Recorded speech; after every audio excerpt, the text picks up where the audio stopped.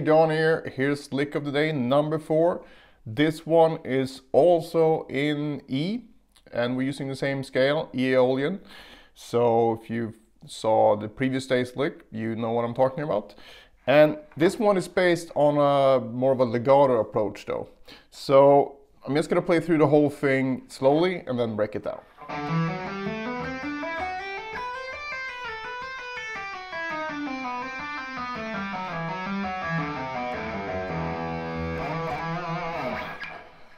So, something like that.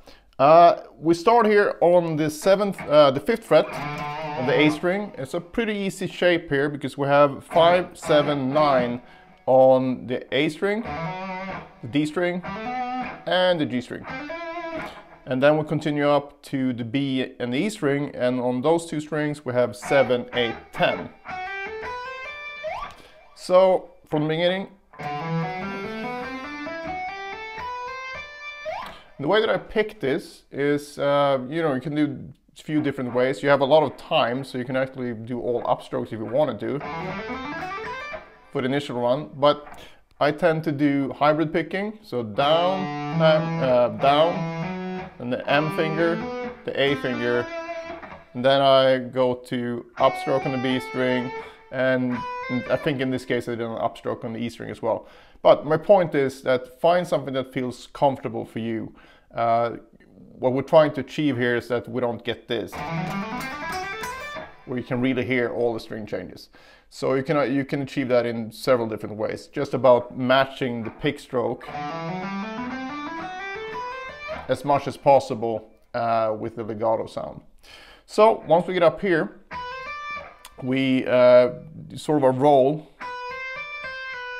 so we go up and then back again and we slide down to the fifth fret and then we do another roll. So, so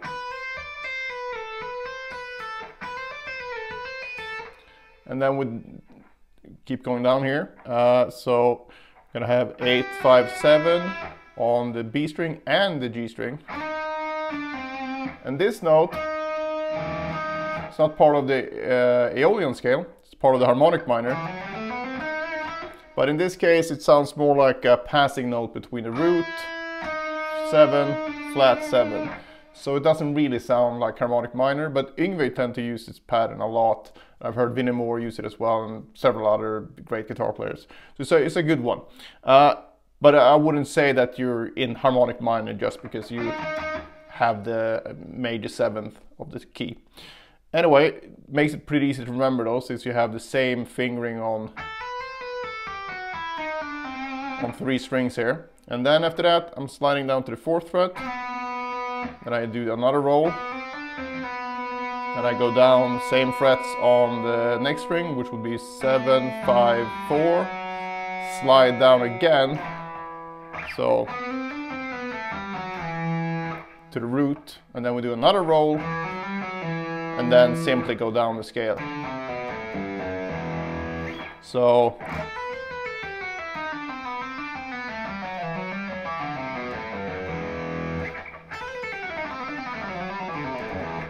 So the trick here is to get the slide to sound as much as possible like the normal legato. Uh, all right, so just a quick thing here about the placement of the left hand fingers when you do the, do the pull-offs on the way down. To actually execute a pull-off, you need the second finger down already on the fretboard, right? Because if I'm going from this note, for example, into into that. Uh, when I hit the pinky here, to get this note to sound, I need to put that finger down as well. And the problem is if you wait and now put it down and then do a pull off, you basically get three notes, but you have four motions. So you have one note, two notes, one extra motion, and then the third note. So a better way what I found a better way, for me at least, and for, for my students, worked really well, is to make sure that whatever finger that's gonna come after uh, so the way I think about it and what has helped me a lot and also helped my students and try it might help you as well is to make sure that whatever fingers is going to come after the first finger on that string needs to come down at the same time. So in this case, I'm going to be playing four and three, so I want three and four down at the same time, literally at the same time. Because what happens then, we get one, two, three. Three notes, three motions.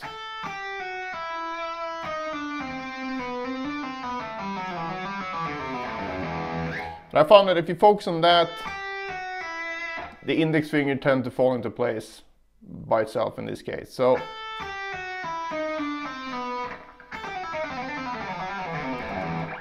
So try to focus on that if you find that you have trouble with the, the left hand thing here. So one thing that can really help you develop this is to practice with only hammer-ons.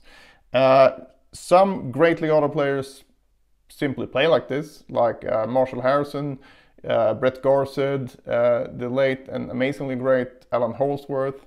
Um, so it's a legit technique and it sounds very good when you when you get it down. Uh, I think the only downside might be that you can't really do it on acoustic very well. But you know, if you if you know that you're going to play most of the electric, it can be a good thing to to work on. And the the another great thing about it is that it has a very uh, strong connection with just regular alternate picking. So it's going to be the same type of uh, movement in the left hand. It's just that we're going to rely on getting all the, the sound from the left hand. So how do you practice that then? Well, uh, one really good exercise that I like and that's worked great for my students as well is simply to divide the left hand uh, into two finger groups and that would be uh, six different ones. We have one, two, one, three, one, four, and then we have two, three, two, four, three, four. And then simply do like a trill. Uh, and when you do this, I like to use some sort of muting device here so I don't have to focus on muting the strings. Uh, I can simply focus on the left hand. But uh, I'm just going to hold it like this for now. Um, so I'm here at the 7th fret, one finger per fret, per fret, and then I just go through it like this.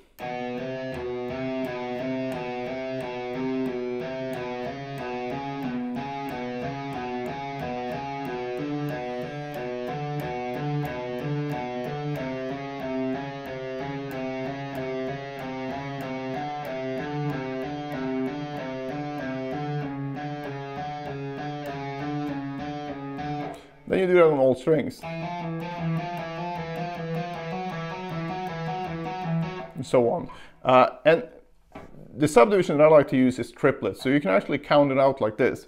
One and uh, two and uh, three and uh, four and uh, one and uh, two and three and four and one and two and three and four and and then you go through all the ones, the combinations like that. And again, the combinations are 1, 2, 1, 3, 1, 4, 2, 3, 2, 4, 3, 4. And actually, I like to extend the exercise by going through it by starting on the lowest finger first, meaning that if I have 1, 2, I start on 1. And each combination then, uh, after I've gone through 1 and a 2 and a 3 and a 4, and a, will start on the lowest number as well. Uh, but once I'm done with 3, 4, for example, so I go 1 and uh, 2 and uh, 3 and uh, 4 and uh, I'm gonna go back to the first combination 1, 2, but start on the higher finger. So in this case, the second finger, and then go 1 and 2 and 3 and 4 and 1 and 2 and 3 and 4 and 1 and 2. And the difference here is that you're gonna lead with the higher finger instead of the lower finger, and that feels different. So basically you do uh, the, these combinations twice on each string going up the, and do it on every string. That's a really good warm up and also technique builder. And once you've done that, that's kind of the feel you want even when you do even when you do pull-offs, right? So if I play I'm very relaxed in my left hand and it's more it's closer to, to the feeling of doing all hammers and really trying to pull off. Because I remember when I started out and I heard Steve Vai play stuff like stuff like that, right? And I would be like, how is he able to do that? Because I could do it slowly and get a good tone, I thought. But I was so, uh, my hand was so, uh, you know, I used too much force. It was really hard to even consider playing much faster than, than I was. But once I started getting into this and especially doing a lot of sort of all hammers work, it really helped my left hand technique to stay relaxed. And that's more of the, uh, that's more what you want than, than, than the opposite. So, and you'll find that it's not really about pulling off really hard. So if I do this, even though I'm not doing, I'm doing pull-offs now, it's still very relaxed. And I don't think you can play like, you know, like that without being very relaxed in the left hand. So whenever you see someone play something, uh, especially with legato, and it looks really easy and it sounds amazing, it's probably because it is really easy for that person to play because they're very relaxed because that's sort of one of the things that you need to make the technique work. So hopefully this makes sense. So with all that said, try to keep that in mind, have a really light touch in the left hand. And as always, uh, take this sequence and you can move it up uh, diatonically. So you just move up starting on the next scale step and do the same thing. You're gonna end up at a different place. And it might not sound as good or it might sound better, who knows. Uh, but basically, if you have a seven note scale and you learn a lick in that seven note scale, you have six uh, different versions available to you. And some will sound kind of weird, maybe, but that doesn't matter. It's good for good to work through them anyway. But also you might find some other ones that sound even better than the original thing. So that's a thing that I like to apply when I learn licks or sequences or whatever it might be from some other player. Uh, I learn it as it is first, but I also explore it by starting on different scale degrees and also changing scales and doing all that stuff. But that's kind of out of the scope for, for this Lick of the Day series. Right, that's it for this one. If you need tabs, you have a link in the description box below. If you need some help or you're confused about anything here, just post a question in the comment sections and I'm promise to get back to you as soon as possible. And uh, yeah, have fun with this one and see you tomorrow for the next lick of the day.